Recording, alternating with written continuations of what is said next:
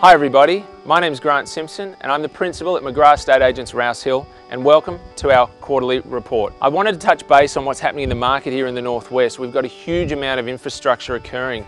Uh, obviously cemented with the Northwest Rail Link, we've got new roads going in, high schools, primary schools, growth, land releases, new development, and on top of that, we've got hundreds and hundreds of families moving into the area.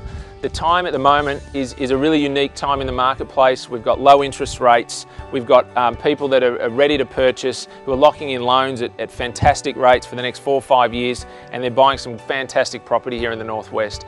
Our team at McGrath Rouse Hill, uh, Rob Vanderwall and Melly Yan, some of our top salespeople here that sell from Beaumont Hills, Rouse Hill, right through to Quakers Hill and up into the ponds, are getting a huge amount of inquiry for the properties they've got listed and a huge amount of inquiry for people that are going to market in the next three to four months. So if you are interested in selling your home or getting an idea of values, contact the team at McGrath Rouse Hill.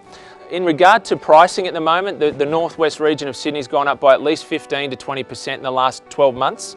And now with rates staying at such a low level and re land releases and some of the development and infrastructure occurring, we can't see that stopping uh, in the next two to four years, to be honest. So I think now is a great time to be selling, great time to be buying. Like anything, it's always a good time to get into the marketplace. But there are some fantastic opportunities that are occurring and some really beautiful homes coming to market.